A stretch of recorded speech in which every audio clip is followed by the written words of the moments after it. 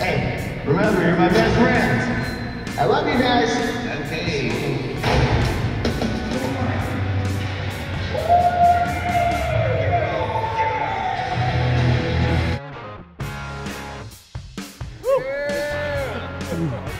Oh, dude, it is. Uh, it's a dream come true, man. Growing up playing hockey, I, I kind of left it behind many years ago. I moved over into film, and then my paths crossed with uh, with Zucker and Tyner, and it's uh, hockey's a big part of my life that uh, I got to see come back in full force, and to see it up here on the jumbotron is just uh, it's awesome, man. It's a dream come true. You uh, grew up going to games in this building.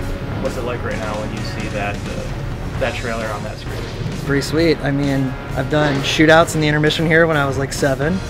Uh, we used to work here back in 2013 season in this actual booth, so being able to drop the trailer here for the first time, it's going to be pretty awesome.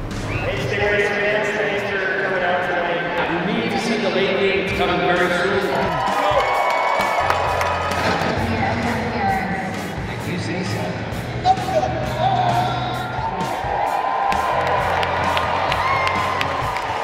you guys. Let's go, boys!